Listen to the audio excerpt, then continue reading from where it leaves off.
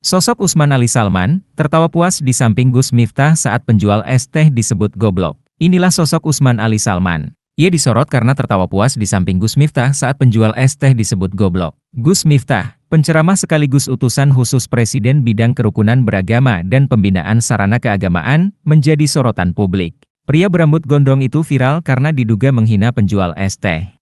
Gus Miftah memaki dan mempermalukan pria penjual es teh saat dirinya sedang berdakwah di Magelang. Dalam sebuah video yang viral momen itu terjadi saat Gus Miftah mengisi pengajian di Magelang, Jawa Tengah.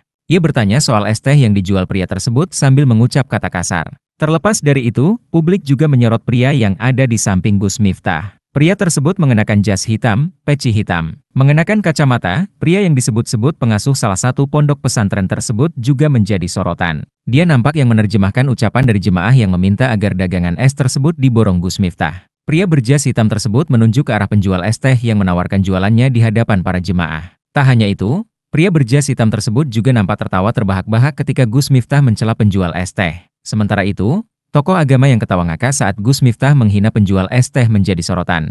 Identitas pria yang berada di samping Gus Miftah itu pun terungkap. Identitasnya adalah bernama Usman Ali Salman.